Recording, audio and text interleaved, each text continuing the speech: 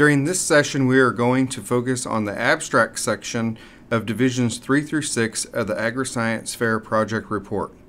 Using the National AgriScience Fair Handbook rubric, the abstract section should be a brief statement that describes the purpose, methods, results, and conclusions. Further, the abstract should not include cited references. The abstract is limited to one page.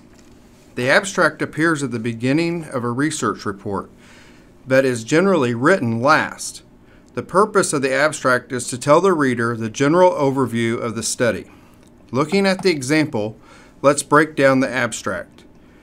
The underlying portion of the abstract addressed variables and key components of this study.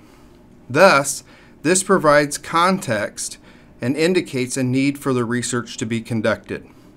This is followed by the next sentence that clearly states the purpose of the study, highlighted in yellow.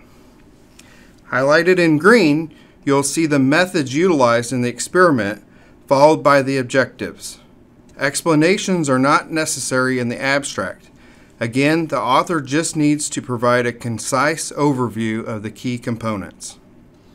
Following the methods are the key findings of the study based upon the methods. This is highlighted in gray. You'll notice that the green highlighting the methods states that it's a two-group design, own rooted and grafted, and the results address both variables that are highlighted in the gray. Finally, highlighted in blue, you will see the succinct conclusion. We added in a recommendation for future research.